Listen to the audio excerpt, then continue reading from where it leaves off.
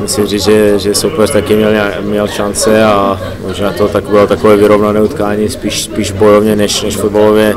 že by to bylo nějak moc kvalitní utkání, se nedá říct, ale, ale bylo to bojovné jako, jako derby a, a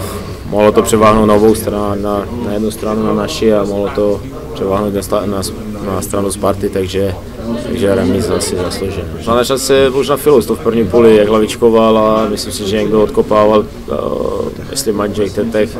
a to si myslím, že by šlo do brány, kdyby, kdyby, kdyby tam nevykop ten balon, ale a pak ta moje hlavička taky zase někdo odkopal, odkopnul, ale tam si myslím, že byli brankář za, za hráčem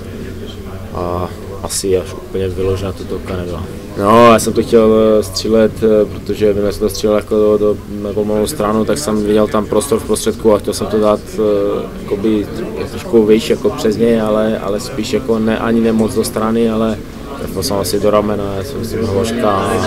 bohužel, možná, možná blbě, že to zrovna bylo ze šatny a nebyl jsem ještě ani rozsvíčený, ale škoda, no, byla to zase dobrá příležitost a zase se mi to nepovedlo. Tak nahoru dolů, no, to bylo to je takové, že jsme měli dobrý zápasy, jsme vyhrávali, pak jsme měli zápasy, kde jsme, jsme propadli jak herně, herně tak výsledkové, takže dokud jsme, dokud jsme v té první šestce a myslím si, že to můžeme celotně tak kladně, ale, ale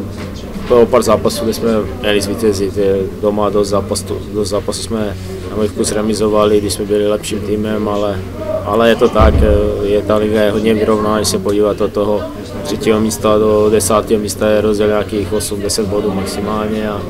a je to jenom dobře, ale jak říkám, no, měli jsme možná mít o něco víc bodů, ale je to tak, jak je a nachystáme se na jaro.